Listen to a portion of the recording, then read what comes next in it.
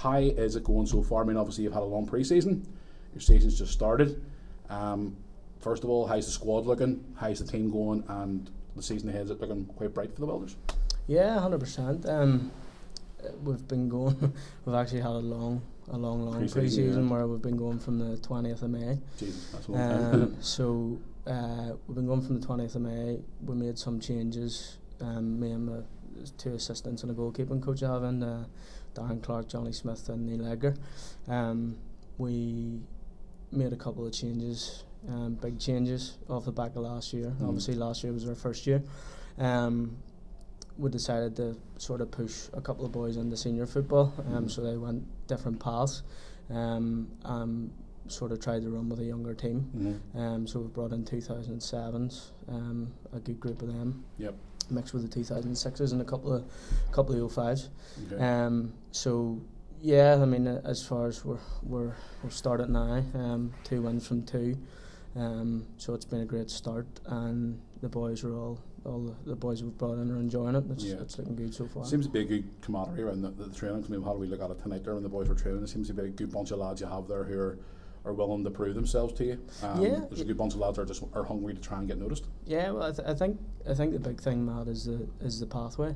Yeah. Um, you know, Mark and, and Paul have have given us a real big foundation to you know to push a pathway, and I know a lot of clubs will come out and say it, but there is a real pathway here. Of course. Um, you know, Biggie like Galbraith, he was at our trials or our open our open training sessions as we like to call them last year, mm-hmm. um, and within by the end of pre-season, Mark had identified that 21s. he was ready to go into 21s. Mm-hmm. Um, we'll have Mason Finn, who is yep. part of the 21 squad now, yep. um, and then uh, we had John Mahoney, and uh, who's unfortunately now he's away to Dromara Village, mm-hmm. but towards the end of Christmas last season.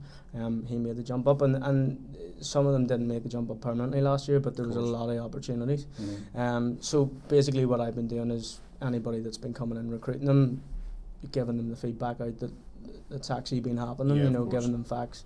Um, and I think everybody's, you know, we're all fully focused on under 18s because yeah. that's our primarily our job. But we all know that we're Welders players, and mm-hmm. when we're called upon, that we're ready to go. That's good. Obviously, you're saying touched about Mark and Paul. I mean, they're the two type of coaches that are given opportunities now.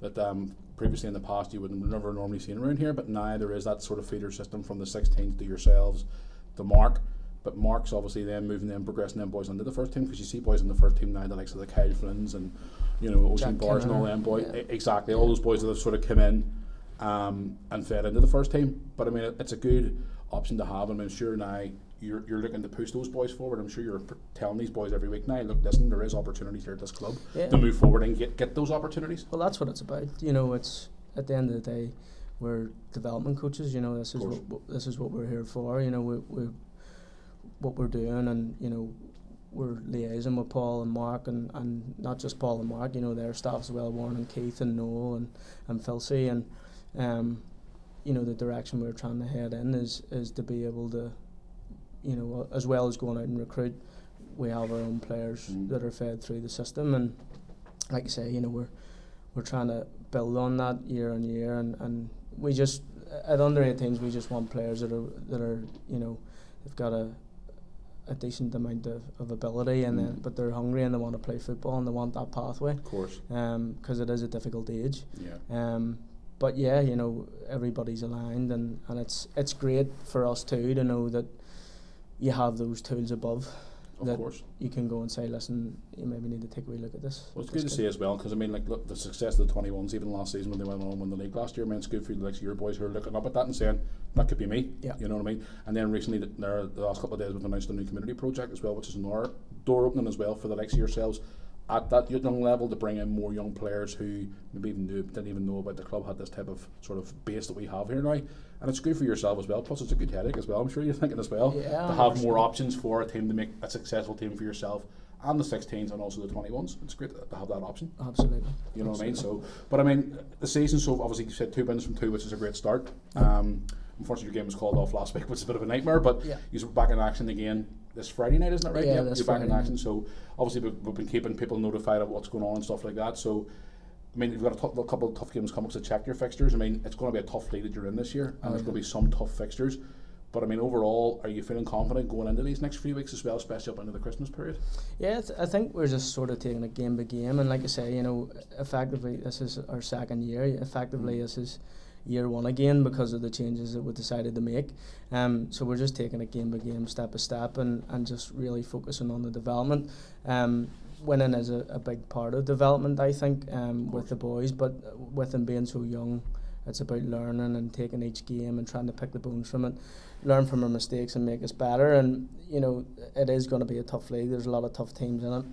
With Shankill and then with Bangor, and then I think after that will be Green Island. So, um, three teams that are they're flying in the league Mm. as well. So, um, yeah, as far as aspirations and stuff, we're just like I say, taking it game by game and and uh, just trying to, to build on on what's there and what's already sort of happening. With just being such a young team as well, I mean, you obviously can't put so much expectation on the boys as well because you're, you're a very young team, you know, and obviously that's a sort of a platform you can use to build from that over the next coming years. I mean, obviously there's going to be boys coming from the 16s into your team as well over the next couple of years, and now with us feeding in more people from this community project, you know, it is going to take obviously a bit of time to sort of build that foundation because we're still a very young club Yeah. when it comes to that level. Would you agree with that? Yeah, hundred percent. And it's like I say, you know, that uh, the plan is, you know, with Adam, he's had a good start to the season with the under 16s as well.